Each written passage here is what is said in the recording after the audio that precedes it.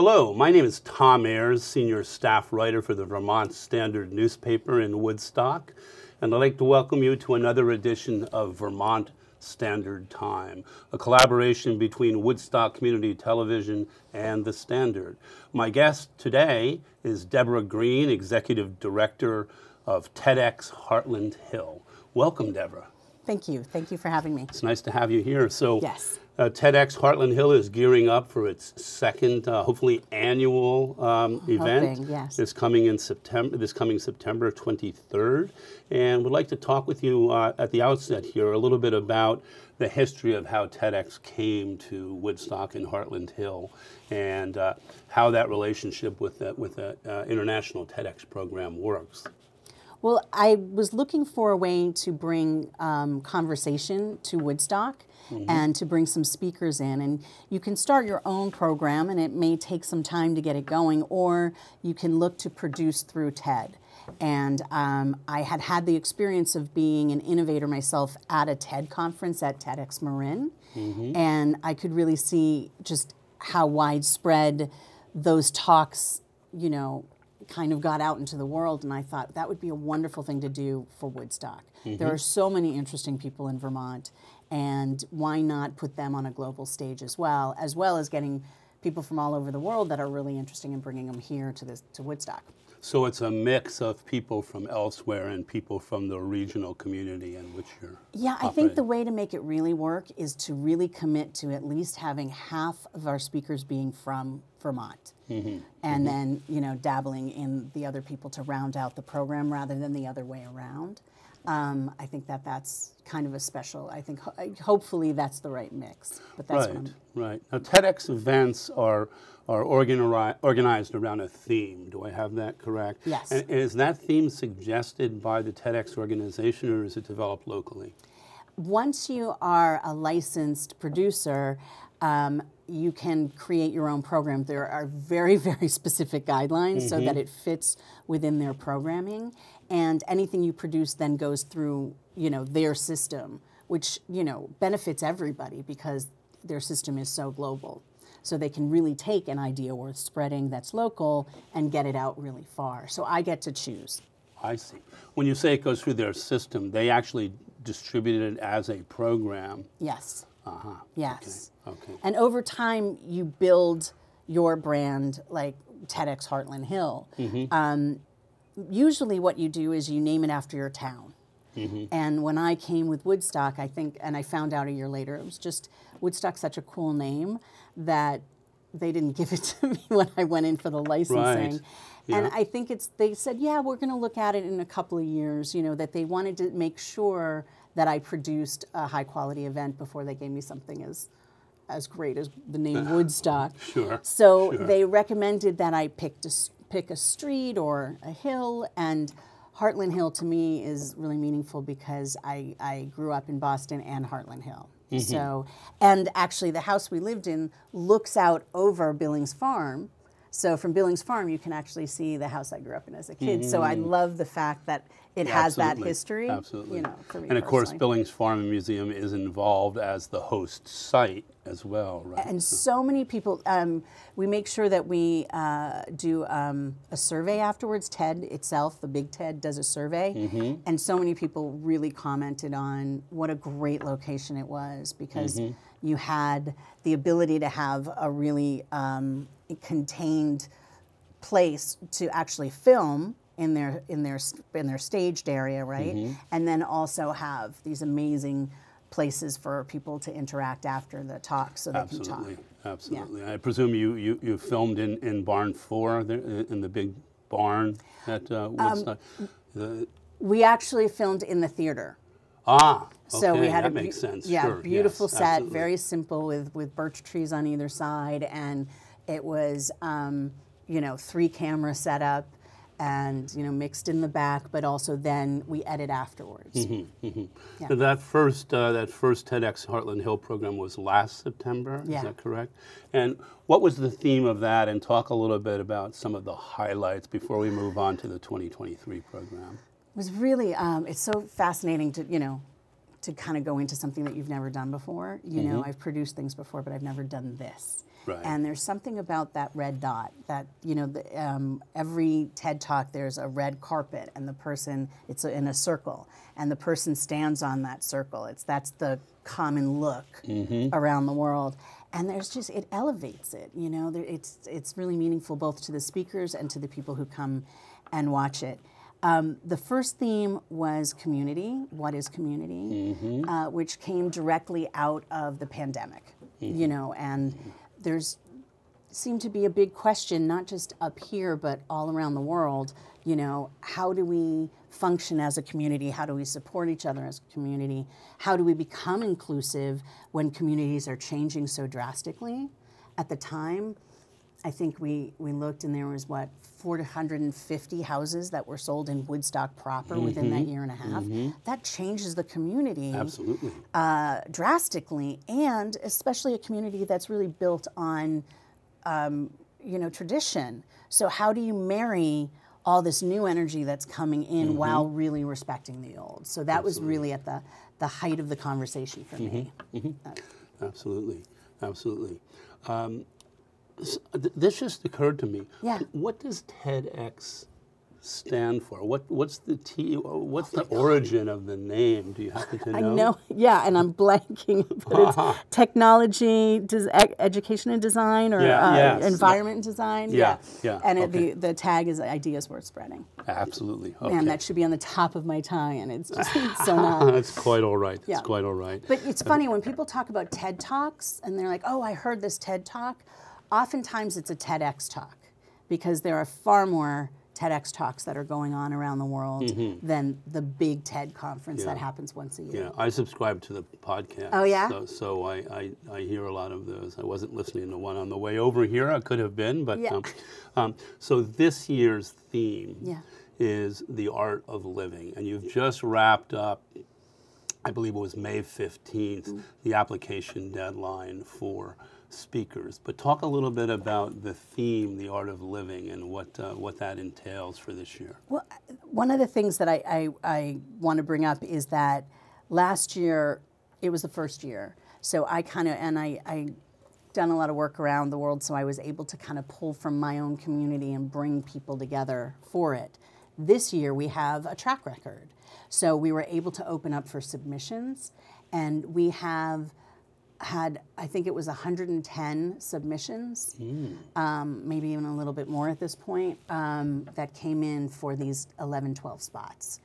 So that was very exciting to me to see the breadth of, of ideas that were coming forward. And I actually have an advisory board that works with me to kind of go through that to help build the program as well as you know peppering it with other people that I want to bring in. So it's again mixing. And 110 people weren't all from uh, Vermont. I think there was maybe 30% of those came from Vermont. Um, and the idea for the art of living feels like the next step after the pandemic. The next question that I kept seeing and hearing in conversation is this kind of now what? You know, we all kind of had to reorganize our life Absolutely. and really consider things after the pandemic. There Yeah. was a lot of loss, whether it was personal, you know, of a human being or a job or a home or, you know, and and people were really contemplating what do I what's what's of value to me. Yeah. And so I thought that was uh, an interesting way of bringing it up to say, okay, what is the value of a life, and um, what have people done that allows that conversation to be really meaty. Yes, it was this. My, my wife and I often say to one another that the last three years have just been this surreal kind of existential limbo. and Right. That, that um, and it has it has caused people to really rethink themselves, rethink life, rethink what's important to them. Right. And there's been this almost seismic shift in a lot of people's lives as a consequence of that. I so, feel like it's like a, a reshuffling, like a global reshuffling, right. you know, that's happening. Yeah. Um, and I'm I, I'm really impressed with the things that are coming forward from Mm-hmm. from it. Yeah. Um, you mentioned we, we were conversing before the program began. You mentioned um, one particular speaker that you've already identified, and um, um, continuing to work through that Mm-hmm. selection process. But uh, tell our listeners and our viewers a little bit about that. Uh, Sure. Um, the first one that we're announcing, and we're announcing it next week or here, um, is Agnieszka Pilat. And one of the things that we were trying to do when we were looking at kind of the subcategories of the art of living, and with, um, I mean, literally the last month and a half, AI, since Chat GPT came out, it's um, it, it just grows and grows and grows exponentially. And there's there's a lot to consider when you look at AI. And so we've had long conversations of how do we want to bring in AI because that's going to be part of the art of living moving forward. How do we balance technology that has so much intelligence, more intelligence than we are, into um, living a, a peaceful life, and is that possible? Um, and I really didn't want to go for just going after it technically. And the wonderful thing about Agnieszka uh, Pilat is she's a classically trained um, um, and schooled artist. And she's been working with Boston Dynamics and working with um, their first dog, uh, robot dog, was named Spot. And she has now, after working with them for a while, has been given um, two dogs.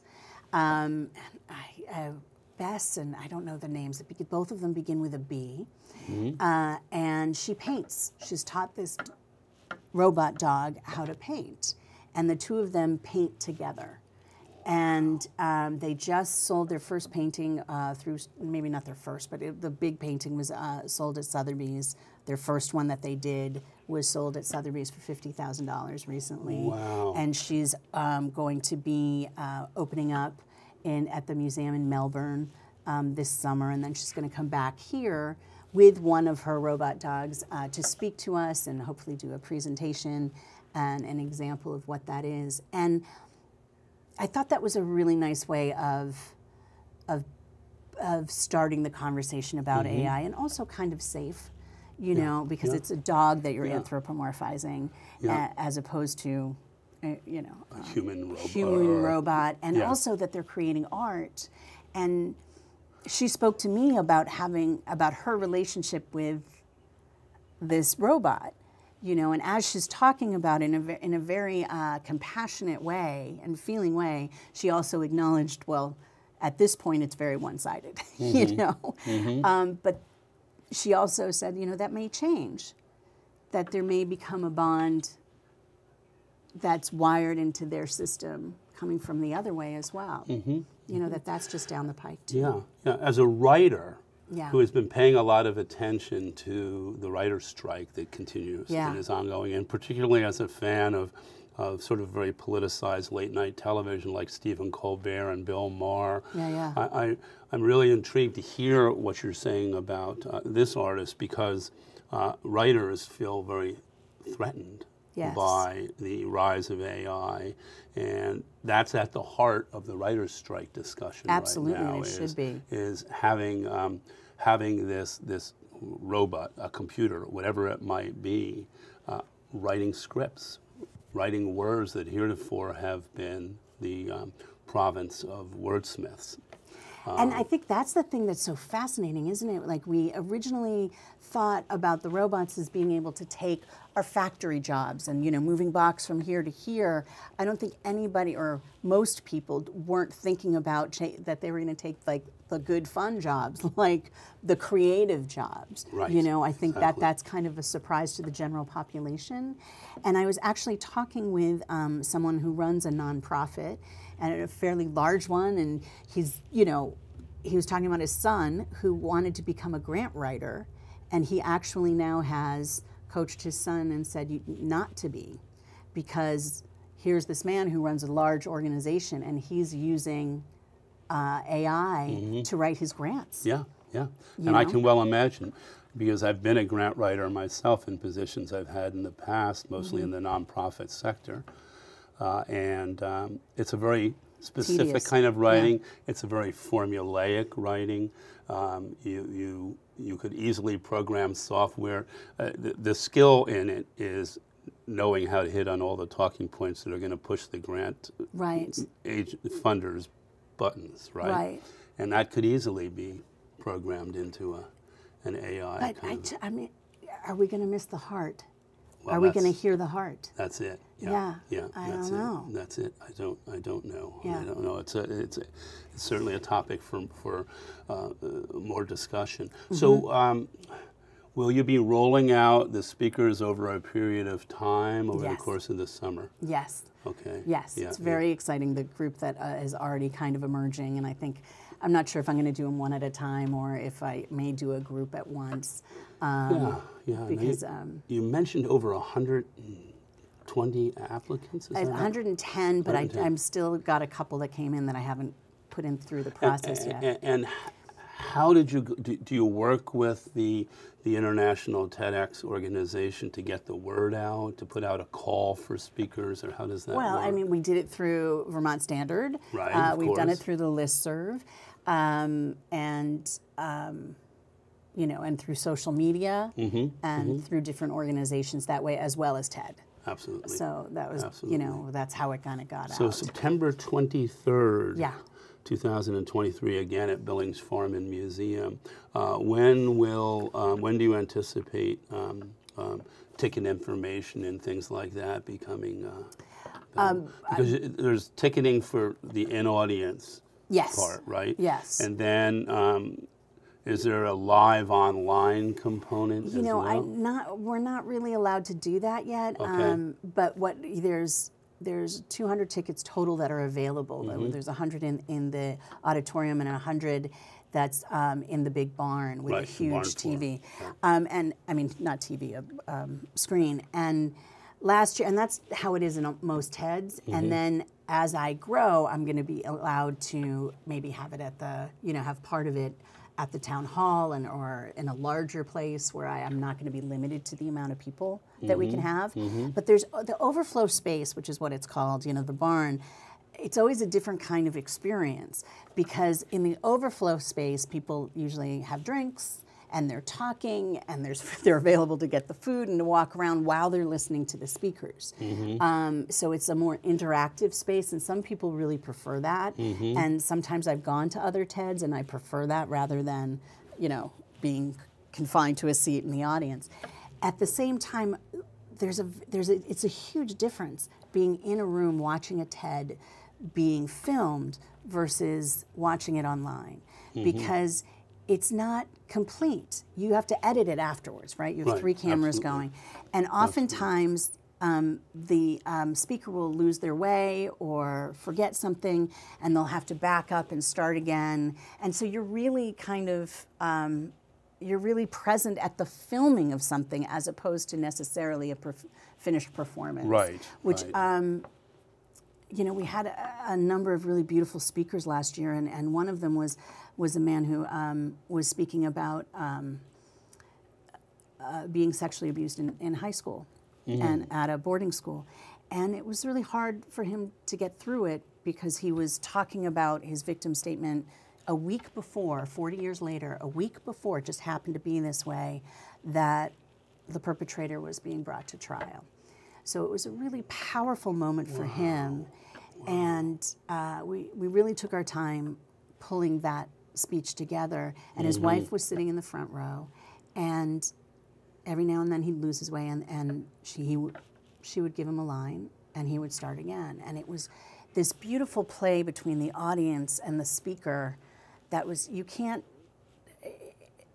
you need to be there to have that experience. absolutely. Or that something goes wrong technically, and then there's an interaction between the speaker and, you know, I mean, Leon had- had this beautiful, uh, Leon uh, Dunkley was one of our, our Ah, speakers last yeah, year yeah. beautiful and he, and he uh, spoke about a little girl singing uh, a song and and it was very it was very sweet and um, the next person that was on was this really beautiful man Tony McAleer who uh, was an ex-white supremacist and talking about how to make your way from hate you know from love to hate then hate back to love you know and what happened in his experience. And something went wrong technically and he ended up on stage just waiting. And and here's this moment where who knows what the audience perception or thought of what his speech was going to be knowing the topic Mm-hmm. and instead he took leon's song and started singing this song. Wow. and it was just like changed the whole dynamic of the room. You know so you have these moments that you just you know you don't know about when you watch the speeches when they're done and perfect online. Absolutely. And you don't know the experience that you're having Yeah. on stage I, I primarily have the experience of, um, of hearing the podcasts Oh, yeah. or of hearing them on public radio as Right, well. right. And they sound seamless. Yes. I mean, they sound absolutely Good. You, you, you would have no idea that maybe this person stopped and started and stopped and started multiple times because Right. they just sound so relaxed and polished and fluid. So Yes. it's, it's really I can under, I can appreciate how different that dynamic is when you see it in You- person. and one of the things that I really love about how TED structures it is they don't want you to have teleprompters and they don't want you to have any written word with you. Mm-hmm. And I think it's so important because it keeps the person uh, present. I mean, Mm-hmm. you have to be thinking on your feet because you may lose your way. You know, and not everybody's a professional speaker, and Right. you know, and the professional speakers aren't necessarily the easy ones. You know, it, it and and you know, so you have a mix of level of experience that get on stage.